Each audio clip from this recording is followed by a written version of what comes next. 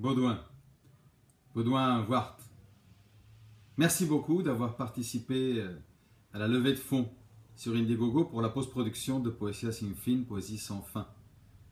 La suite de la danza de la realidad, la danse de la réalité. La post-production d'un film, c'est une recréation complète parce qu'il faut faire le montage, la colorisation, la musique, euh, le son, tout ce qui va apporter vraiment la vie au film.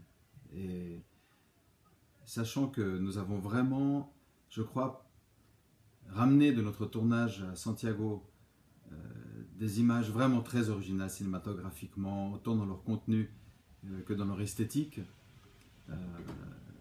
je crois que vraiment, nous sommes en chemin vers, vers, un très très beau film. Il reste beaucoup de travail à Alexandro et à Marilyn Montieu, avec qui il fait le montage, par exemple, ils viennent de commencer. Après, il y aura la musique, fera mon frère Adam, la colorisation, enfin, vraiment, beaucoup, beaucoup, beaucoup de travail pour arriver vraiment à, réussir cette ambition d'un film poétique. en tout cas, si on réussit, ce sera en grande partie grâce à toi et euh, aux gens comme toi qui ont la foi en un cinéma d'art.